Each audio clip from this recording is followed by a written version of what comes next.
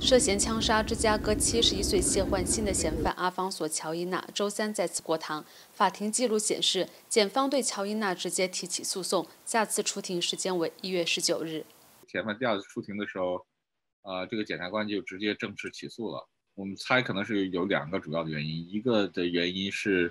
因为现在病毒原因，所以这个检察官现在不愿意召集大陪审团，就是不想把太多人聚在一个房间里面。啊，第二有可能原因就是他手里的证据呢，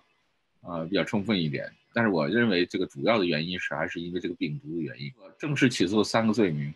啊，所以大家来看这个屏幕上，啊，现在他有一个正式的刑事案件的号码。那么正式起诉了三个罪名，第一个罪名是谋杀，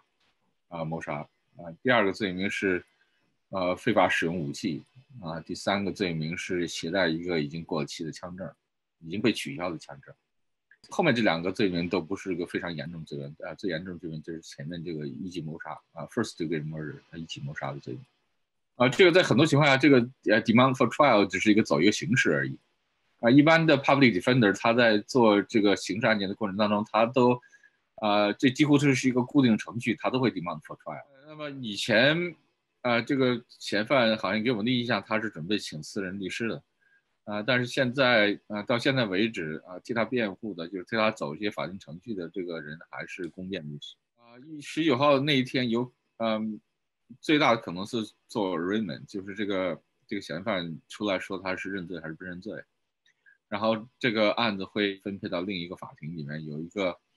有一个专门处理刑事案件的法官来接手这个案子。